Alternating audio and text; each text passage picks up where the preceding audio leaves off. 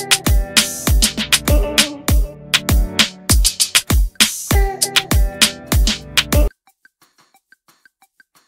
ภโชคเสียดายชวดทำแฮตทริกในเจลีกเผยมั่นใจมากขึ้นก่อนลุยคิงส์คัพ สุภโชคสารชาติแนวรุกทีมชาติไทยของสโมสรคอนซาโดเลซัปโปโร รับเสียดายที่ชวดทำแฮตทริกในการแข่งขันเจลีกหลังเจ้าตัวเหมาคนเดียวสอง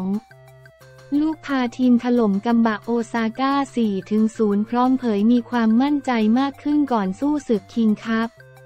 โดยสุภโชคยังทำผลงานได้ร้อนแรงต่อเนื่องหลังยิงคนเดียว 2 ประตูในนาที 13 และ 59 พาคอนซาโดเลซัปโปโรเปิดสนามซัปโปโรโดมถล่มกัมบะโอซาก้า 4-0 ฟุตบอลเจลีก 1 ญี่ปุ่นเมื่อวันที่ 2 กันยายน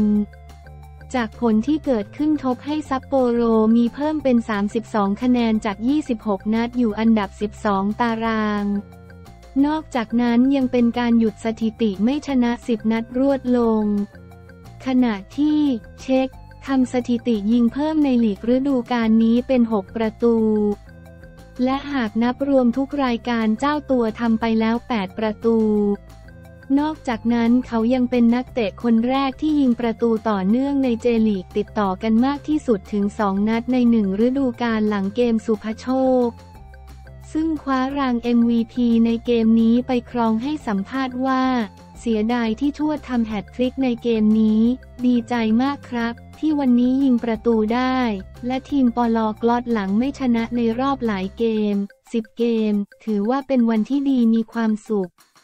และทุกคนก็เล่นได้ดีมากครับ วันนี้ การยิงลูกแรกเป็นลูกที่เหมือนกับเป็นมุมที่ถนัดอยู่แล้ว แต่ก็โชคดีที่เหมือนยิงแล้วบอลตกแล้วผู้รักษาประตูเหมือนกับจังหวะผิด ส่วนลูกสองก็วิ่งเข้าเขตโทษตามปกติตามที่โค้ชมิชามิไฮโลเปโตรวิชสั่ง ส่วนเรื่องทำแฮตทริก ผมก็มีแอบคิดนิดหน่อย คิดว่าโค้ชน่าจะเก็บเราไว้ในเกมจนจบ โดนเปลี่ยนตัวออกนาที 84 นอกจากนั้นดาวเตะวัย 25 ปียังพูดถึงเรื่องความมั่นใจก่อนจะกลับไปช่วยทัพ ช้างศึก ลุยการแข่งขันคิงคัพครั้งที่ 49 ตอนนี้ผมก็มีความมั่นใจมากขึ้นก่อนจะกลับไปช่วยทีมชาติ ซึ่งเป้าหมายคือการพาทีมคว้าแชมป์เท่านั้น ส่วนเรื่องของสโมสรก็เสียดายนิดหน่อยที่จะต้องช่วยช่วยทีมไปสองแมตช์หลังจากนี้แต่เชื่อว่าเพื่อนร่วมทีมจะผ่านไปได้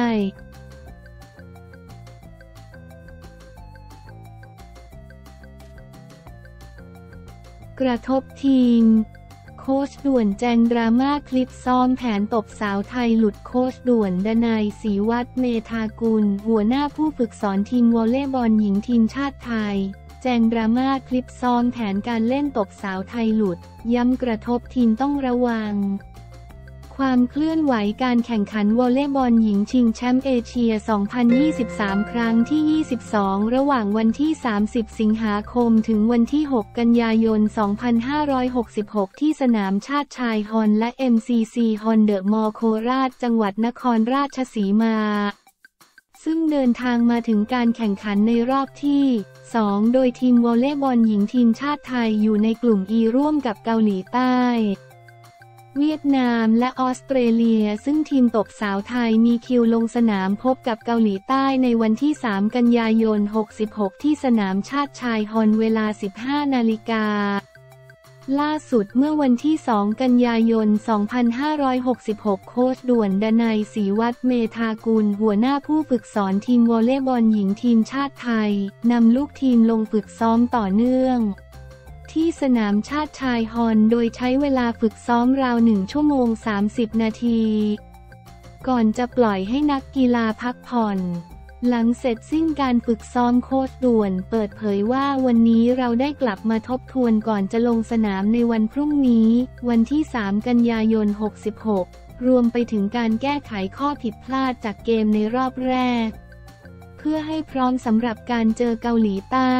ซึ่งมองว่าไม่ง่ายเนื่องจากเกาหลีใต้เป็นทีมที่แข่งขันอยู่ในระดับเนชั่นลีกอยู่แล้วนักกีฬาเขามีประสบการณ์ในการเล่น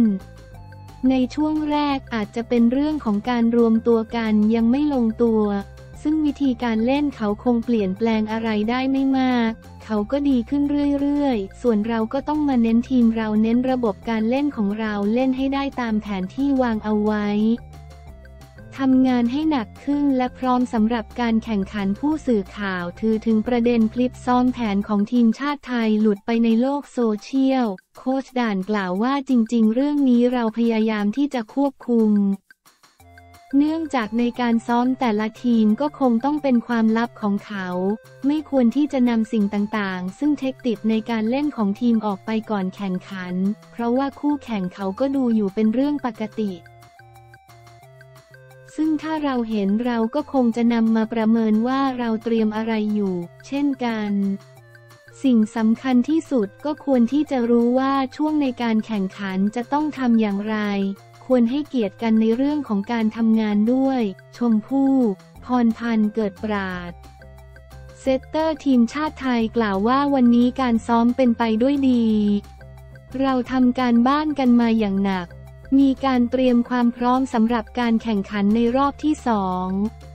ส่วนการเจอเกาหลีใต้เป็นเกมที่จะประมาทไม่ได้ต้องเล่นให้ละเอียดนำสิ่งที่ได้ซ้อมในวันนี้ไปใช้ซึ่งเกาหลีใต้ชุดนี้มีจุดเด่นที่บอลเสิร์ฟ และบอลที่ต้องเล่นกันยาวๆ และบางจังหวะก็มีหนักด้วย ดังนั้นเราต้องเล่นละเอียดตั้งแต่บอลแรก บล็อกให้ได้ และเมื่อจะรุกก็ต้องเด็ดขาด ด้านงัวเมธนชาสุขสดกล่าวว่าก่อนเจอกับเกาหลีใต้ เรามีการประชุมวางแผนการเล่นอย่างดี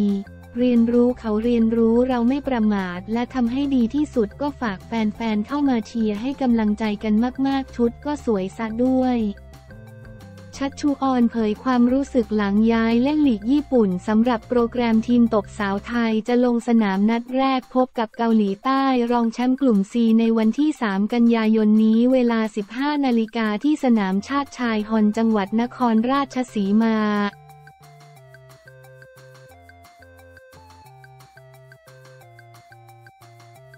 ก้องธรณีมาดุไล่อัดแชร์ซอดคว้าชัยเอกฉันเหนือคู่ชกต่างชาติคนแรก ก้องธรณีศึกมวยวันลุมพินี 31 เมื่อค่ำคืนวันศุกร์ที่วันที่ 1 กันยายนที่ผ่านมาที่สนามมวยเวทีลุมพินี รามอินทรา ยังคงดูเดือด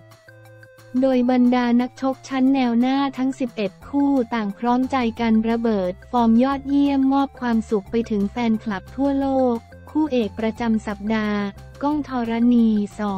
สมหมาย หวังคว้าชัยเป็นของขวัญวันเกิดล่วงหน้า น้องฉลาม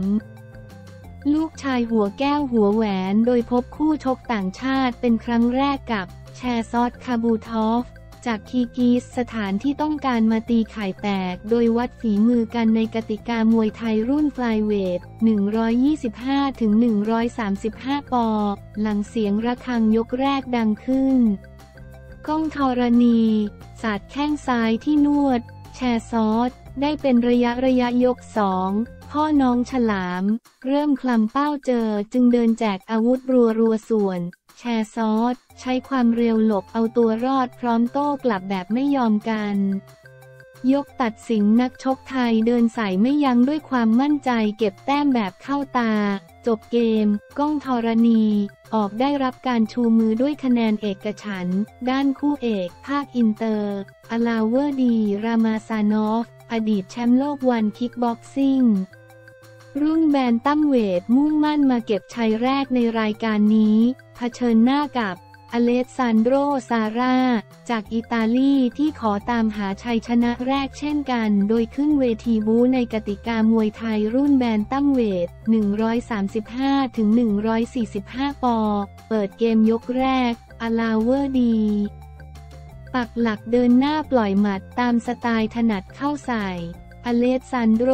ที่พยายามหาช่องสวนกลับเป็นระยะ ก่อนเจ้าของฉายา Baby Face Killer นักฆ่าหน้าเด็ก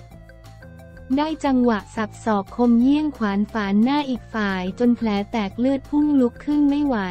ปิดเกมไวแบบเบ็ดเสร็จเด็ดขาดในนาทีที่ 1 นาฬิกา 39 นาทีของยกแรกประเดิมชัยแรกที่รอคอยพร้อมรับโบนัส 3.5 แสนบาท กลับบ้านไปด้วย